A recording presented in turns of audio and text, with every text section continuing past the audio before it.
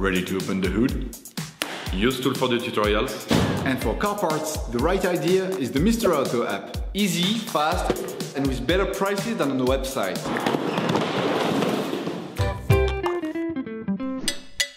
You can find the bulk EGR valve used in the video exclusively on the Mr. Auto website, as well as the module injector cleaner under the link in the description. Turn your engine off, pull up the handbrake, pull on the bonnet release lever and open the bonnet.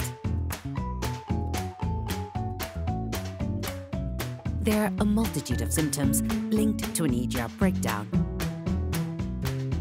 Loss of power, injection issues, appearance of warning lights. To access the EGR valve, you have to remove the airbox. To do this, insert a screwdriver into the notch located on the front of the airbox, then shift the air inlet conduit. Disconnect the electrical connections. Take a flathead screwdriver and unscrew the clamping clips on the air inlet conduit on the turbo. Then shift the air inlet conduit. Remove the cable from its hooks.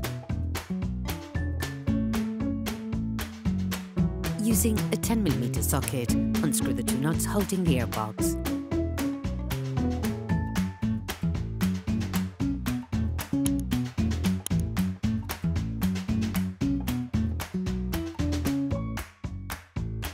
Remove the airbox by turning it clockwise and pulling it towards you.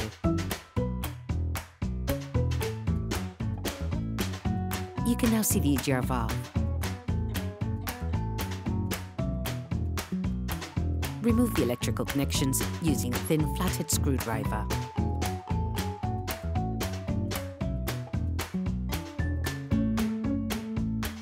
Using a ratchet, an extension and a 10mm socket, unscrew the three screws holding the EGR valve.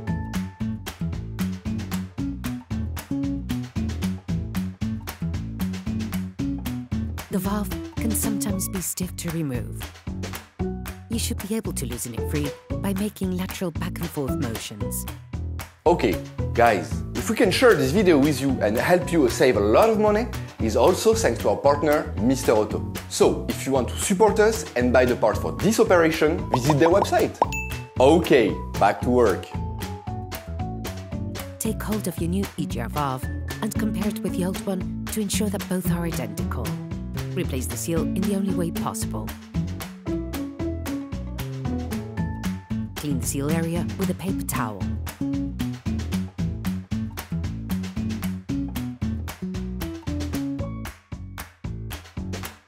Slide the valve back into position.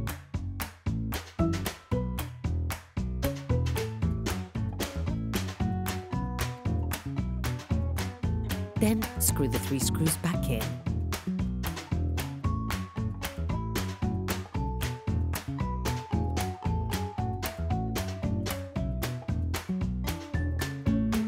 Finish up the tightening with a torque wrench.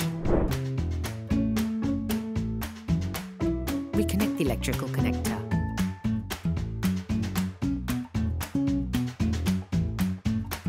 Replace the airbox, making sure the lug is in the right place.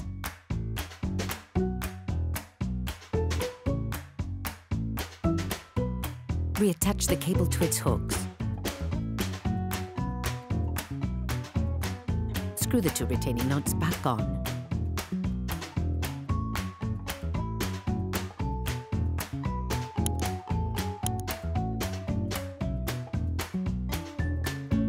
Place the air inlet conduit back. Then screw it back on. Reconnect the electric connectors. Reconnect the air inlet conduit.